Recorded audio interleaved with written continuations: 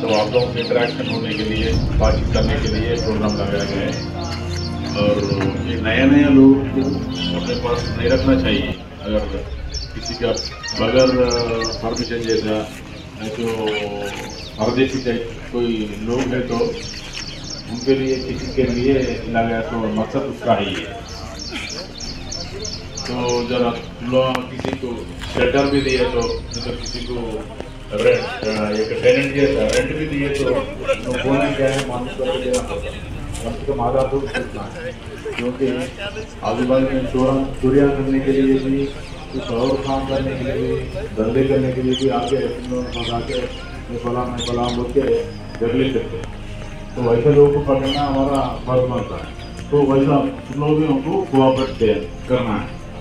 तो ऐसे अगर बात है तो हमको इतला दे देना। नहीं तो उसको मना कर देना, पीछे भगा देना। सिर्फ़ अगर कुछ डाउट है। तो एक फ़ोन मारते तो हो जाए hundred ten one zero zero का कॉल कर दिए तो हमारे लोग पाँच मिनट के अंदर भाग के आएँगे, आपके पास उसको लेके जाएँगे।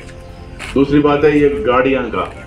गाड़ियाँ, ऐसा बगैर नंबर का, बगैर रजिस्ट्रेशन का, बगैर आरसी का रहते तो तुम लोगों को मुश्किल हो जाता। छोटा भी एक्सीडेंट हुआ, कल के दिन अपने जेब से पैसे, हज़ारों, लाखों पैसे भरना पड़ता। एक इंसिडेंट नहीं है, समझो।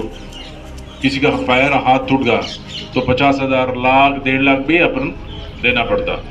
सही रजिस्ट्रेशन फिटनेस गाड़ी ऑटो फिटनेस ये ये चार सर्टिफिकेट जो सो, हमेशा साथ रख लेना। तुम लोगों को फ़र्ज़ बनता है। बताए तो ही, तुमको कहीं भी कोई पुलिस वाले होते तो भी बता सकते छुड़ा ले सकते गाड़ी हाँ अब तो जो भी गाड़ियाँ है इसमें बगैर नंबर का, गलत नंबर का, बगैर रजिस्ट्रेशन का, बगैर आर्ट का, अपना इंश्योरेंस का, ये पूरा गाड़ियाँ ला लिया यहाँ पे।